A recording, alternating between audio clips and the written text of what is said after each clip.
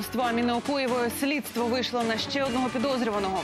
Послання з минулого жінка з Дніпра знайшла лист радянського солдата. Шпиталь для коал, як в Австралії, виходжують лісових погорільців.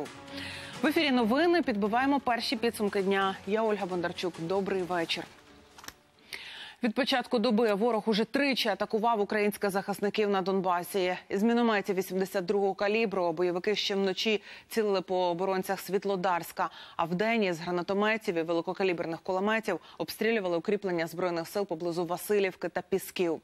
Не вщухають ворожі провокації на Авдіївському плацдармі. З передових позицій армійців репортаж Руслана Сміщука. Передові позиції за Авдіївкою, так звана Авдіївська промзона, це виглядає як лабіринт розбитих будинків та потрощених кулями і осколками парканів. Періодично ми чуємо поодинокі постріли та кулеметні черги. Таке тут постійно. Іноді гатять і більшими калібрами. Поки нас ведуть до нульових окопів, на сусідню позицію прилітає черга з автоматичного гранатомета. Що це було? АГС. Это по нам. Скорее всего, по монолиту. Выстрелы семерки с той стороны приблизительно. Одиночными работают, вытягивают. Они вытягивают, пулеметчик или стрелок вытягивает. А когда начинаешь работать по стрелку, вот видите, работает. Начинаешь отвечать, работает по тебе снайпер.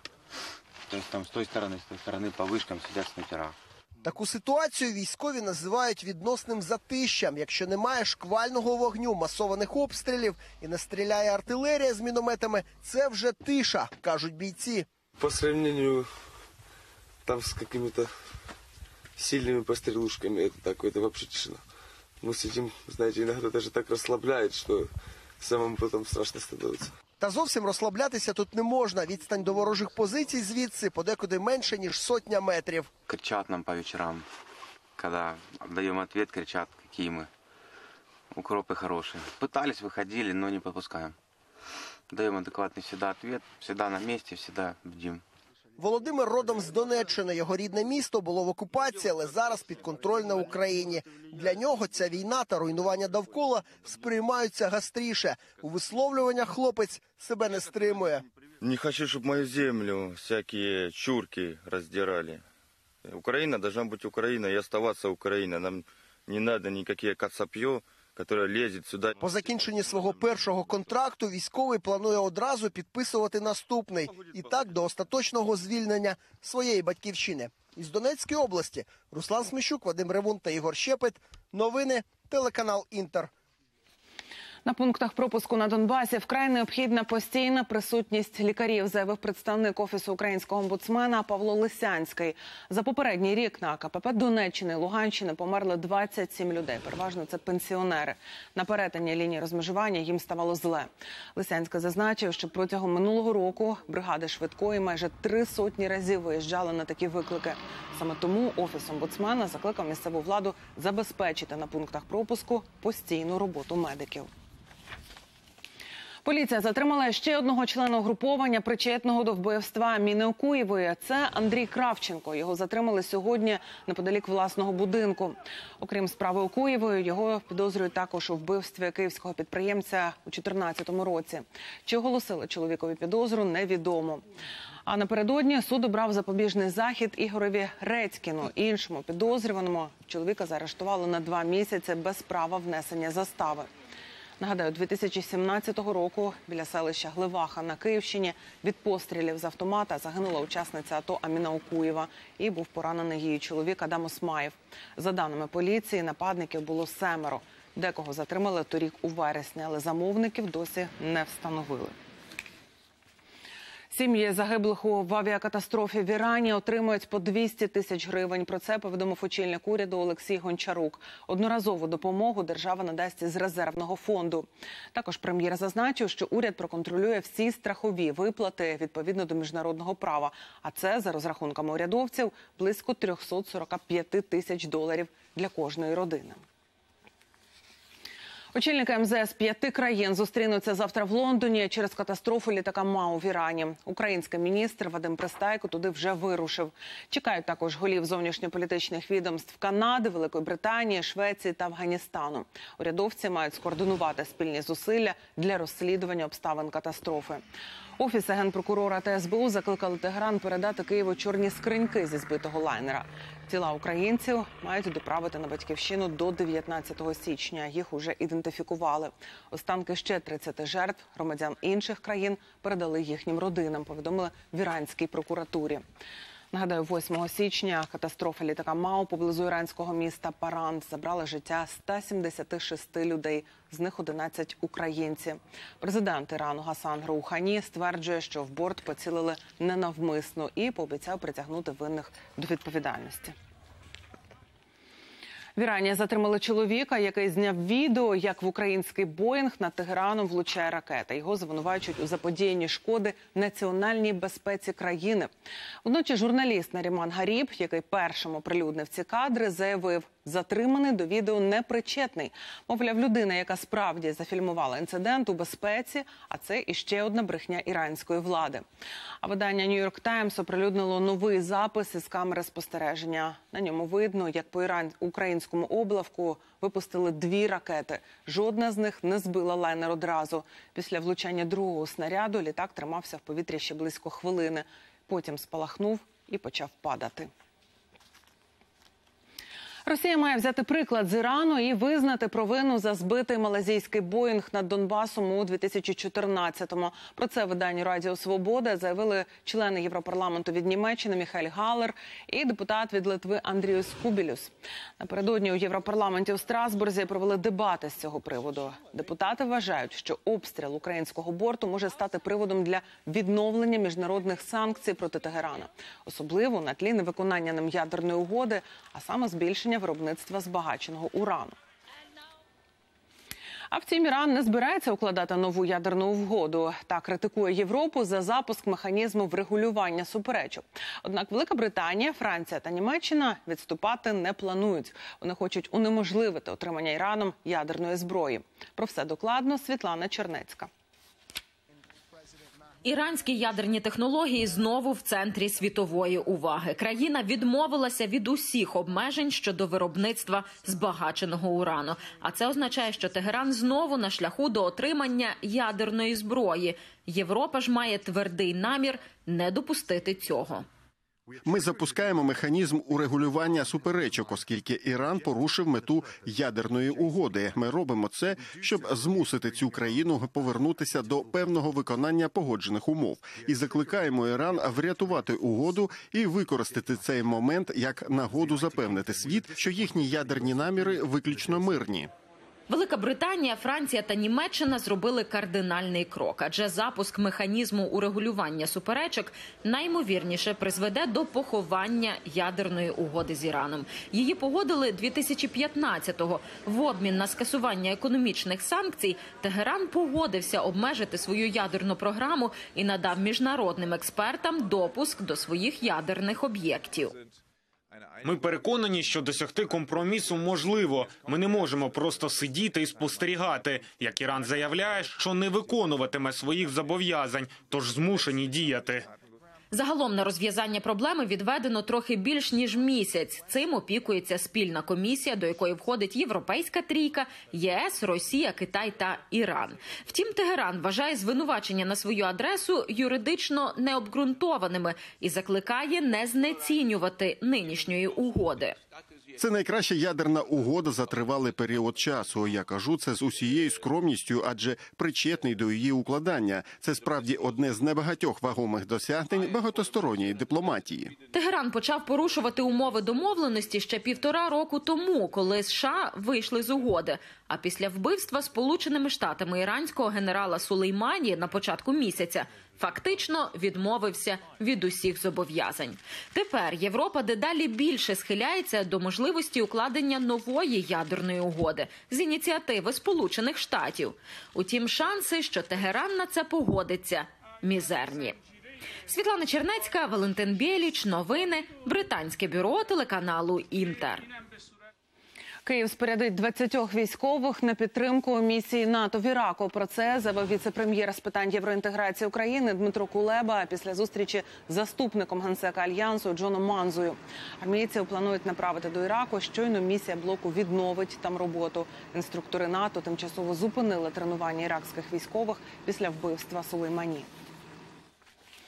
Адміністрація Трампа розглядає скорочення військової допомоги Іраку, якщо його уряд і надалі наполягатиме на виведенні американських військ. Про це повідомляє Wall Street Journal з посиланням на власні джерела. Після ліквідації штатами генерала Сулеймані 3 січня у Багдаді парламент Іраку проголосував за припинення операцій міжнародних збройних сил на території держави. На запрошення уряду в країні залишається близько 5,5 тисяч американських військових.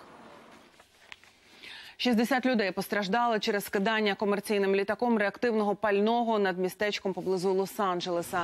Діти дорослі скаржаться на труднощі з диханням і подразнення шкіри. Авіапальне скинув літак, який прямував з Лос-Анджелеса до Шанхая.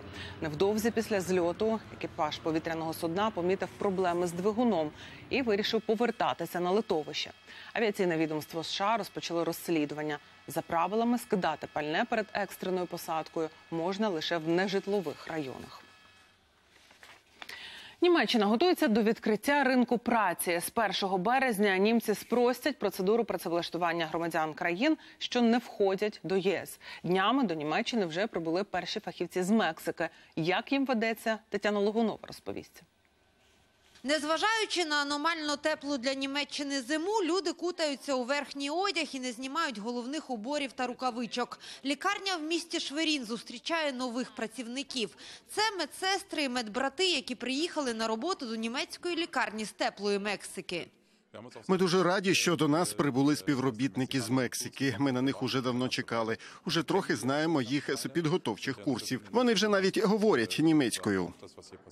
Усі фахівці – випускники медичного університету мексиканського міста Гвадалахара. Після закінчення навчального закладу ще на батьківщині вони пройшли курси німецької мови, які організували представники Шверінської клініки. Найкраще отримали контракт на роботу в Німеччині. Ми сподіваємося, що вони затримаються в нас надовго, тому прагнемо створити для них комфортні умови, як робочі, так і приватні. Звісно, дім є дім, але ми сподіваємося, що Шверін теж стане для наших нових працівників другою домівкою. Мексиканцям у Німеччині подобається все, окрім погоди. Я щаслива, трохи хвилююся, а ще мені дуже холодно. Лікарня досить велика. Я таких ніколи не бачив. Тут є все необхідне для того, щоб виконувати свою роботу добре. Я би хотів працювати у відділенні швидкої допомоги. Шукати фахівців за кордоном німці змушені через брак власних кадрів. За приблизними оцінками країні не вистачає щонайменше кілька сотень тисяч працівників. Йдеться про представників найрізноманітніших професій. Це медсестри, медбрати, програмісти, металурги, електрики, інженери та кухарі.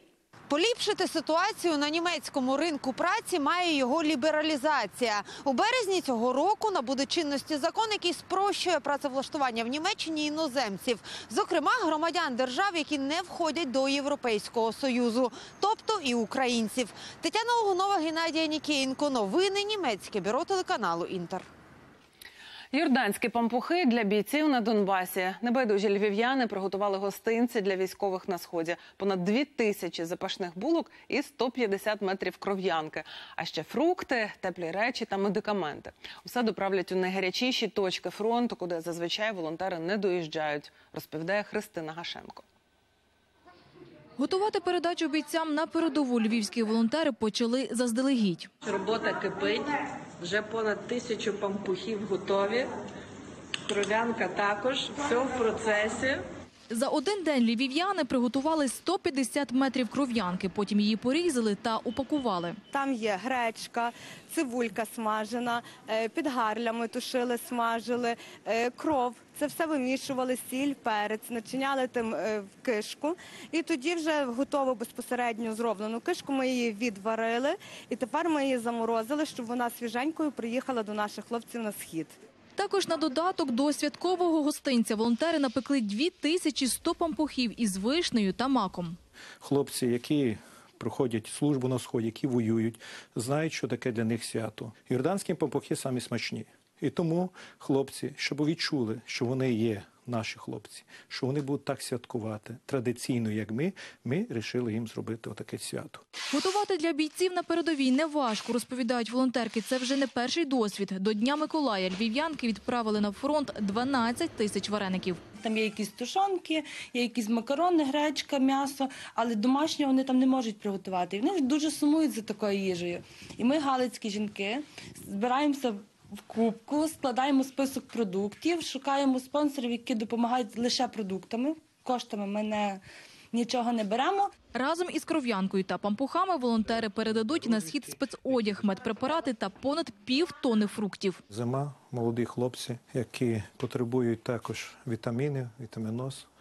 І ми з їхнім проханням відправляємо їм яблука, мандарини, банани, апельсини. Усе спаковане вантажить в авто, котре й вирушить у зону ООС. Михайло, ти забрав? Бери ще Михайло. У маршруті волонтерів 20 точок на лінії зіткнення. Основна маса того, що е, переважно везуть, е, воно якби відфільтровується вже на перших лініях. І відповідно ті, хто в кінці до них майже ну або бояться довозити, або зв'язано з тим, що просто вже менше лишається. Тому наша ціль завжди доставляти найближче до лінії розмежування тим найбільше потребуючим солдатам. Дістатися з пакунками до зони ООС волонтери планують уже сьогодні. Наступного разу бійцям на передову львів'яни запланували приготувати яворівський пиріг та маківник. Христина Женко, Юрій Голубінка. Новини телеканал Інтер Львів. Послання з минулого у Дніпрі жінка знайшла новорічного листа солдата радянської армії до матері. Він написав про умови в польовому лазареті і привітав матір з прийдешніми святами. Хто автор листа і чи знайшли його родичів, розкаже Олена Мандалюк. З новим 1944 роком так солдат Володимир Мороз вітає свою маму Степаниду. Його лист відшукала Олена Присягіна. Жінка полюбляє історію рідного міста. Чи не всі книжки купує ось у цьому комісійному магазині? Одного разу до її рук потрапив цінний примірник. У довіднику дівчина й знайшла цього листа. Человек этот солдат, он лежал в госпитале, и вот он рассказывает немного о своей жизни там. Жизнь в лазарете веселая. Читаем книги, играем в шахматы и шашки, слушаем радио. Кормят в лазарете хорошо. Скоро поправимся, и после двух лет подпольной работы, после ранения с новыми силами, пойдем добивать ненавистных фашистов. С тем до свидания, Вова. Ну, вот такие строки очень трогательные. Олена взялася розшукувати родичів солдата, чи навіть його самого. З'ясувалося, Володимир Мороз служив на третьому українському фронті. У вересні 44-го був нагороджений медаллю за відвагу. На вулиці Магазинні, 29, за адресою отримувача Степаниди наша знімальна група не знайшла. Но здесь магазина 29, один нету Мороз фамилии. Здесь Феоктистовы, Блажновы, о, ну это Манвеляны, вот мы, нету Мороз. Тетяна Феокнистова, місцева старожителька, розповідає, у цьому будинку жили її батьки, і вона вже понад 70 років мешкає. На пошуку родини Мороз рушаємо разом. Вот одни морозы жили, потом там вторые. Як виявилося, Степанида Дмитрівна працювала на місцевому хлібзаводі. Пригадують і солдата Володимира. Вулка был, это... м, Ну, это что это, ну, сейчас там никто не живет, ну, как, там продали, там совсем чужие люди живут.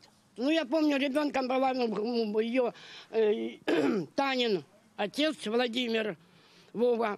За словами пані Тетяни, Володимир Мороз років 30 тому переїхав до Києва. Чим займається і де мешкає, жінка не знає. Поки що невідомо і хто міг принести довідник до комісійного магазину. Книгах находят такие ценные вещи. Бывает, мы открываем, а там фотографии и крестин, и свадебные, все. Потом человек приходит, вот у нас квитанции такие есть, мы отдаем тогда им. Вот. Так что книга хранит память, историю. Імовірно, лист лежав у книзі дуже довго. Пожовклий аркуш польової пошти навіть лишив відбиток. Утім, власниця книги Олена Присягіна сподівається, можливо, хтось із родини Мороз побачить цей сюжет. Жінка готова повернути листа його власникові. Олена Медлюк, Іван Біленко, новини телеканал Інтер Дніпро. Сьогодні в Україні день музейного селфі. Відвідувачів запрошують фотографуватися з експонатами і розміщувати світлини у соцмережах. Так щороку музейники заохочують молодь частіше до них зазирати. Ось репортаж. У Запоріжжі музейний флешмоб став міжнародним. На козацьку січ завітали турки. Після Києва та Львова молодь зі Стамбула вирішила відвідати й Хортицю. Про міжнародний день музейного селфі чують уперше. Звідси відкривається мальовничий краєвид на скелі та греблю. Це просто неймовірна краса. Тут варто побувати кожному. У заповіднику кажуть, до акції долучаються вже третій рік поспіль. Топовий об'єкт національного заповідника Хортиця це цей комплекс, на якому ми знахо- знаходимося, це Запорозька Січ. І другий по значущості це музей судноплавства. Туди не так легко дістатися, але він того вартий. Найкраще селфі з Хортиці визначать завтра за допомогою комп'ютерної програми. Переможцеві обіцяють приз.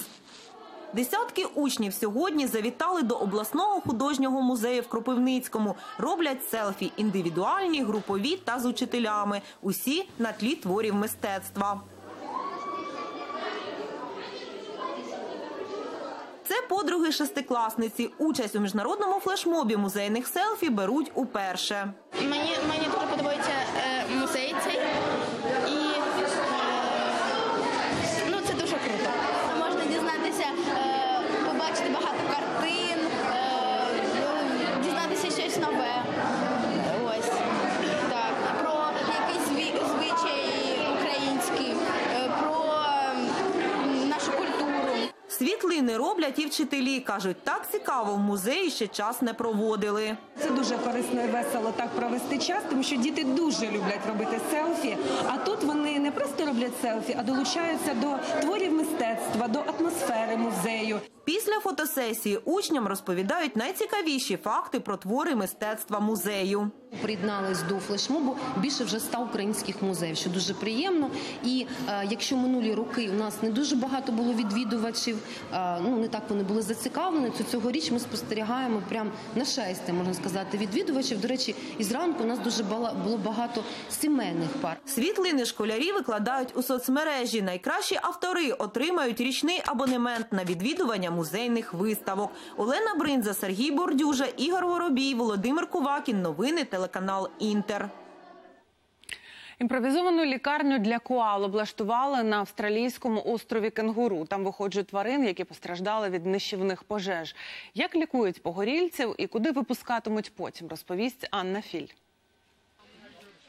Це коала номер 64, без імені, бо всіх пацієнтів, які прибувають до цього шпиталю, назвати не встигають. Промиємо фізрозчином, потім намастимо мазю і за тиждень загоїться. Цього хворого привезли кілька днів тому з опіками кінцівок. На щастя, не смертельними. Під анестезією тварину оглядають ветеринари.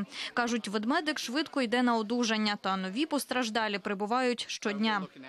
Ми працюватимемо тут щонайменше місяць-півтора. Саме стільки часу потрібно, щоб вилікувати нинішніх пацієнтів. Утім, пожежі тривають, тому, вочевидь, потерпілих буде ще більше. Вогонь винищив половину території острова Кенгуру. Раніше він славився своєю незайманою природою і слугував домівкою для 46 тисяч коал. За підрахунками ветеринарів, нині залишилося близько 9 тисяч, і вони потребують особливо ретельної охорони. Популяція коал на острові Кінгуру унікальна. Головне, що тутешні тварини не є переносниками хламедіозу, інфекційної хвороби, яка для коал може бути смертельною. Тим особам, які полишили острів, назад повертатися вже не можна. Тому нам не вдається завести сюди коал, щоб відновити популяцію.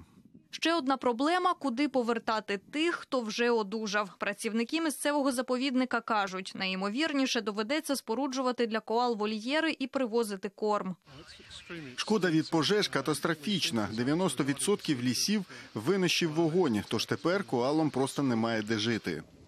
Австралійські пожежі вирують уже півроку. Вогонь забрав 28 людських життів. Скільки тварин загинуло, точно порахувати неможливо.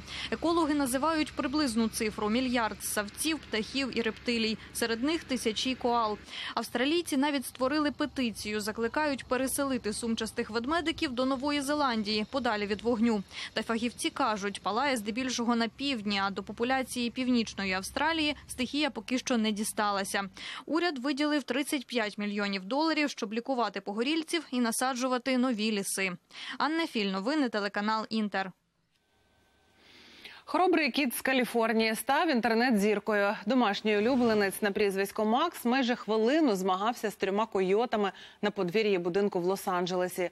Його відчайдушна боротьба потрапила на камеру відеоспостереження. Макс мужньо тримав оборону, доки на допомогу не прийшли господарі.